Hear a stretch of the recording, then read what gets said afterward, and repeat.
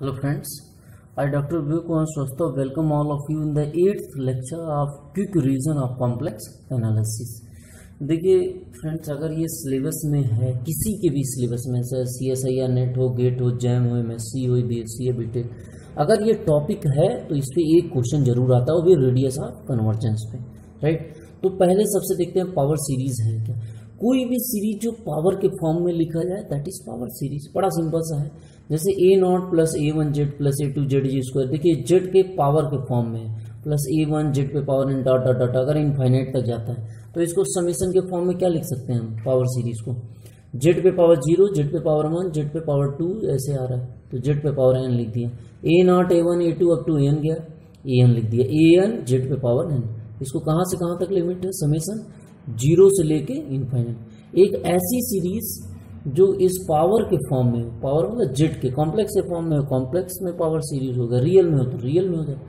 तो देखिए, अगर ए एन की वैल्यू ज़ीरो पुट करेंगे ए नॉट जेड पे पावर ज़ीरो, यानी जेड पे पावर ज़ीरो यानी वन पहला टर्म दूसरा प्लस यहाँ वन पुट करेंगे वन जेड पे पावर वन इस तरीके से सीरीज़ पढ़ता है इस series that can be written in the form of power that is power series अगर हम कहें कि power series about the z equal to z zero के में लिखिए तो देखिए यहाँ कुछ नहीं है। A zero A one Z minus जहाँ जेड था वहाँ जेड माइनस जेड ज़ीरो करना आपको।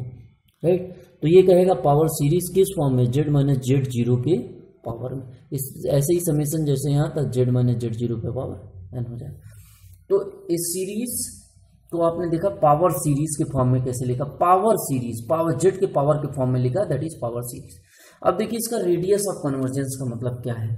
रेडियस ऑफ़ कन्वर्जेंस का मतलब है, एक ऐसा सर्किल ड्रॉ करें इस सीरीज़ के लिए जिसके अंदर वो कन्वर्ज करे। मतलब फाइनाइट और यूनिक वैल्यू दे और उसके बाहर क्या हो जाए?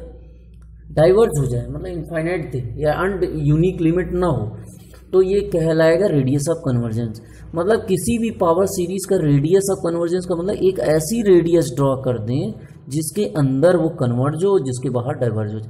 तो इसी को बोलते हैं रेडियस ऑफ़ कन्वर्जन तो circle mod z equal to r containing all the values of z for which the power series converge is called circle और रेडियस ऑफ़ कन्वर्जेंस राइट तो इसका आर बोलेंगे रेडियस ऑफ़ कन्वर्जेंस कब?